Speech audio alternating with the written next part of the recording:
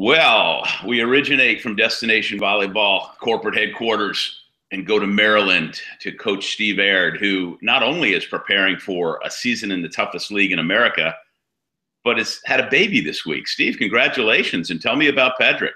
Thank you. Yeah, Patrick uh, David Aird, Monday morning, uh, out a few weeks early, but mom and baby doing great, and uh, can't wait to get home, hang out, and uh, spend a little bit of time with them. So it's been a it's been a juggle early with preseason and having a baby boy, but it's it's been wonderful, and uh, we're happy that everyone's healthy.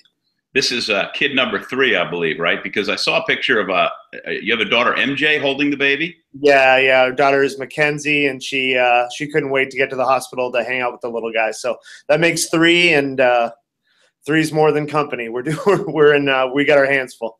All right, let's give a plug to mom and the other kid. Make sure we drop all the names. Right. So yeah, my wife's name is Brandy, and then my middle son is Kalen. So we've got Mackenzie, Kalen, and Patrick. A good, uh, good Irish Scottish clan back home.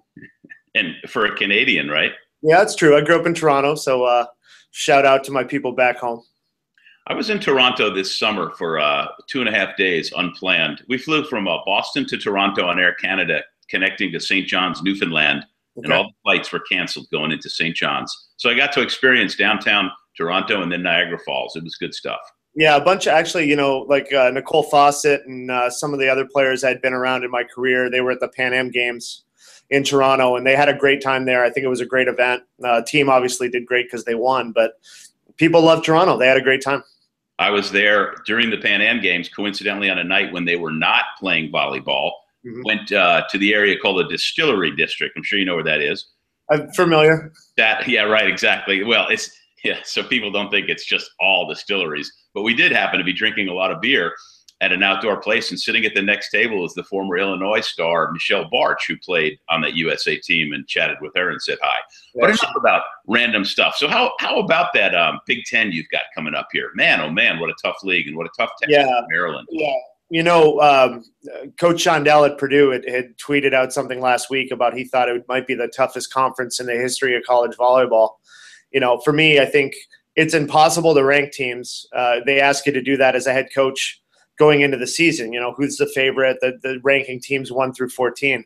But I really think every team in the conference is going to have the ability to win matches in the preseason. And I would be shocked if there's not a whole bunch of upsets as you go through the year um, with the conference beating each other up pretty good. It's it's impressive.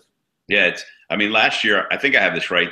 You got nine teams in, and it easily could have been ten. Purdue thought it should have gotten in. And, yeah, I mean, yeah. you know, Purdue Purdue was out last year. Minnesota was out last year. Both of those teams could be in the top four teams uh, in the conference this year.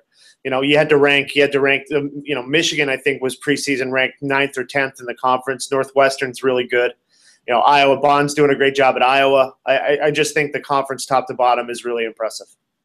You know what it takes from from your time in volleyball, especially at Penn State. Um, where are you at with Maryland, and what do you expect from this season? Well, I think the first year, especially for the team, um, you know, I think it was hard for them to understand uh, kind of the rigors of it. I think it was just different. Um, I think this year they understand. I think they've been to some matches. You know, we played at Nebraska, we played at Wisconsin. They've been in these environments now, so I think they know what to expect going into the year. Um, the team stayed the whole summer uh, and trained and did the things you have to do to, to get better. And you know, I think we're three or four points better a game. You know, I, I don't us uh, picking off the top teams in the conference, but I just want to be more competitive. Uh, get to the point where they understand how we how we get better um, and then I'm thrilled with the way recruiting's gone. So I think that the future here is really bright. It's awesome. All right. Well, look, we'll get you out of here because you got volleyball coaching to do and dad to go play. And these are busy times for you. I look forward to us keeping up and we'll talk again pretty soon.